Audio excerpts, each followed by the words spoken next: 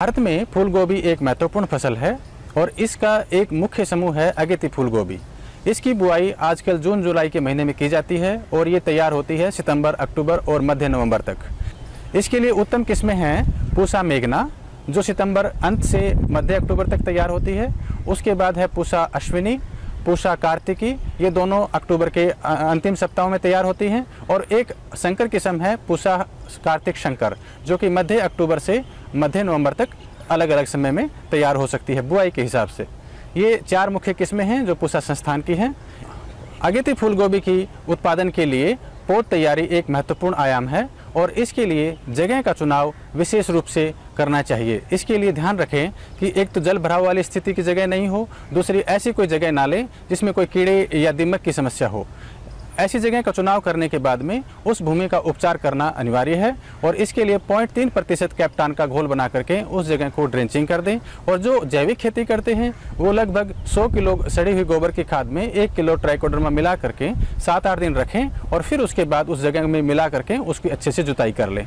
जुताई के बाद में लगभग तीन से पाँच मीटर लंबी और 45 सेंटीमीटर से लेकर के एक मीटर चौड़ी बेड बनाएँ, जो कि 15 सेंटीमीटर से 20 सेंटीमीटर उठी हुई होनी चाहिए और उसके दो बेड के बीच में लगभग एक फिट का दायर फासला रखें, जिससे निराई गुड़ाई करने में या फिर जल निकासी में समय के समय आसानी रहे।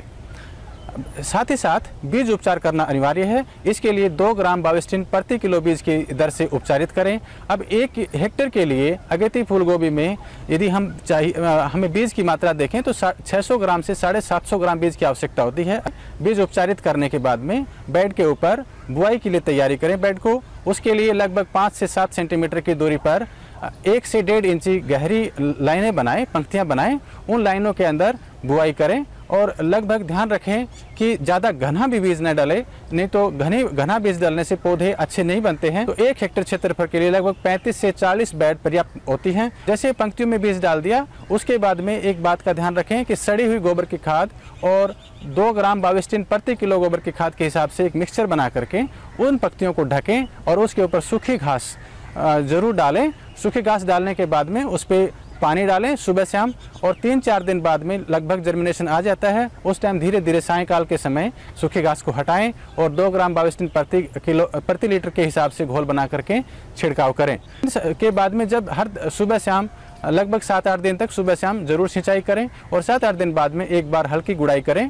पंक्तियों के अंदर तो उससे घास भी निकलेगा और साथ में अच्छा हवा का जो एरेशन होता है, उससे पौध अच्छी बनती है। इसके बाद में जब थोड़ा सा समय और हो जाता है तो ध्यान रखें कि कुछ बीमारियाँ आने लग जाती हैं। उसमें सबसे महत्वपूर्ण है डैम्पिंग ऑफ़ इस जिसको हम अर्धगलन भी कहते हैं। इसमें क्या होता है कि पौधा ऊपर से तो ठीक दिखते हैं पत्तियाँ, लेकिन सतह के पास से लुढ़क जाता है गल करके लुढ़क जाता है। तुरंत कैप्टान दो ग्राम प्रति लीटर के हिसाब से या फिर बाविस्टिन दो ग्राम प्रति लीटर के हिसाब से इसको ड्रेंचिंग करें। एक कीड़ा आता है जिसको हम बरगडा भी कहते हैं या पेंटेड बैग कहते हैं, जिसके ऊपर धब्बे रहते हैं।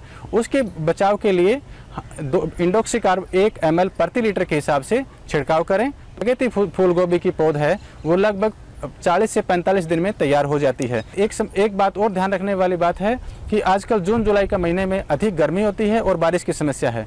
तो इसके लिए जो छायादार जो नेट हैं वो या फिर जो सिरकी बनती है उससे बना करके और पौध की छाया से सुरक्षा करें और यदि अधिक बारिश की समस्या लगती है जमाव के समय। तो प्लास्टिक सीट से ढकें, जब पौधे थोड़े बड़े हो जाते हैं, उसके बाद प्लास्टिक से ढकने की ज़रूरत नहीं पड़ती, क्योंकि उसमें बारिश से कोई समस्या नहीं होती है।